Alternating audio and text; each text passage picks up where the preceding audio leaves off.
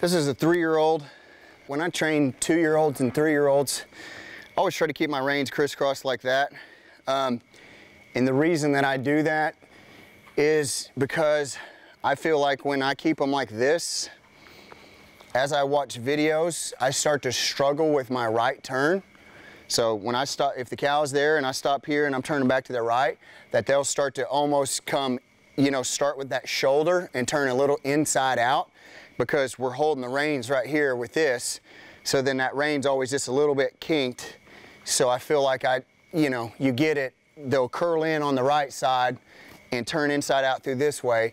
So this just helps me just like that. I want him to know my feet and my hands, everything's soft, just like that right there. Everything's soft. Stay soft. Hold that left leg right there. He wanted to kind of walk forward right there, so I was going to use that left leg to kind of straighten him up right there.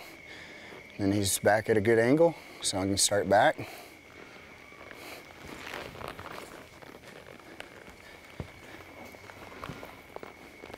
That's good. I liked him. Play with that cow right there. Get that confidence, play with that cow.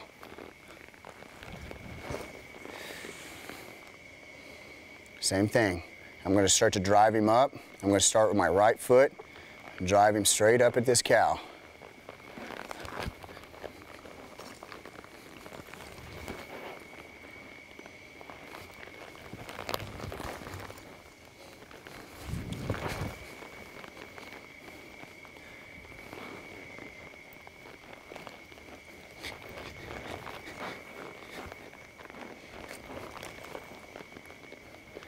Just let him have it right there, just a little bit.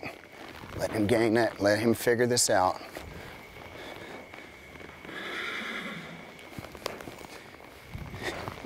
That's okay, he's out there just a little bit. Let him kind of keep figuring it out.